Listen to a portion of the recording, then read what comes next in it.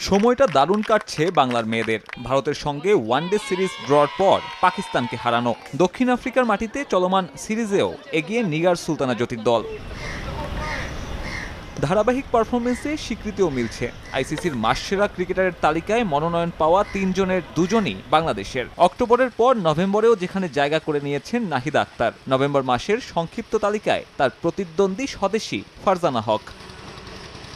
মূলত পাকিস্তান সিরিজের পারফরমেন্স এই তালিকায় তাদের জায়গা করে দিয়েছে। তিন ম্যাচের সিরিজে যেখানে পিছিয়ে পড়েও দুই এক ব্যবধানে যেতে বাংলাদেশ। পাক বধে নেতৃত্ব দেয়া নাহিদা তিন ম্যাচে নিয়েছিলেন সাত উইকেট। বাহাতি স্পিনার অবশ্য গত মাসেও ছিলেন মনোনয়ন তালিকায়, তবে পাকিস্তানের নিদাদারের কাছে হাতছাড়া হয় এই পুরস্কার।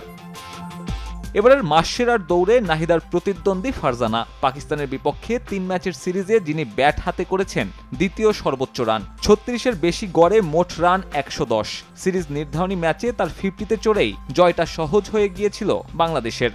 ব্যাংক থেকে নগদে অ্যাড মানি করে প্রতি সপ্তাহে জিতুন মালদ্বীপে কাপল হলিডে প্যাকেজ।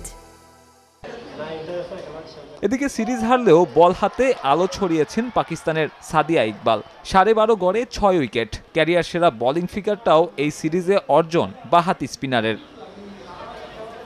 ছেলেদের তালিকায় প্রাধান্য পেয়েছে সদ্য সমাপ্ত বিশ্বকাপের পারফরমেন্স তিনজনের সংক্ষিপ্ত তালিকায় তাই প্রত্যাশিতভাবেই প্রাধান্য বেশি অজিদের।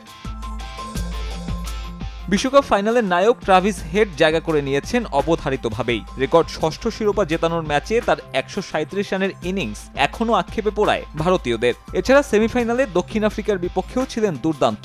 গত জুনে অস্ট্রেলিয়াকে টেস্ট চ্যাম্পিয়নশিপ জেতানোর পর আবারও এই তালিকায় নাম উঠল হেডের। হেডের প্রতিদ্বন্দ্বী স্বদেশী গ্লেন ম্যাক্সওয়েল। আফগানিস্তানের বিপক্ষে তার ডাবল সেঞ্চুরি, ওয়ানডে ক্রিকেট ইতিহাসের অন্যতম সেরা ব্যাটিং প্রদর্শনী। দুই অজির সঙ্গে তৃতীয় নামটা টুর্নামেন্টের সর্বোচ্চ উইকেট শিকারী মোহাম্মদ শামির। বিশ্বকাপ না জিতলেও বল হাতে দুর্দান্ত ছিলেন এই পেসার। বিজয়ের নাম ঘোষণা হবে আগামী সপ্তাহে। সাব্বির মিথুন, সময় সংবাদ।